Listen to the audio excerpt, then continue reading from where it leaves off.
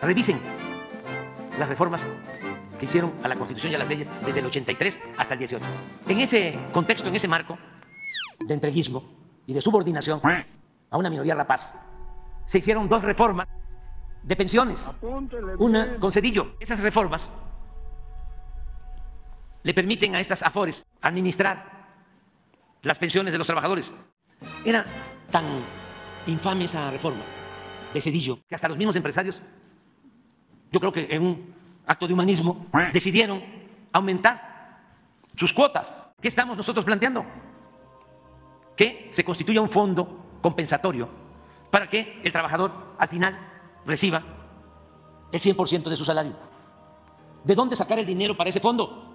Resulta que nos encontramos que las AFORES tienen dinero, manejan dinero de quienes no han cobrado sus pensiones. Entonces, lo que se está ahora discutiendo y queremos que se apruebe es que las AFORES entreguen esos fondos para compensar a los trabajadores que se van a jubilar y que deben de recibir el 100% de su salario.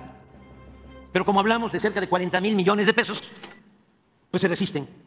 Y ahí están todos los medios de información convencionales, pero sobre todo los columnistas, diciendo de que nosotros queremos quitarle los afores a los trabajadores, cuando es exactamente lo opuesto.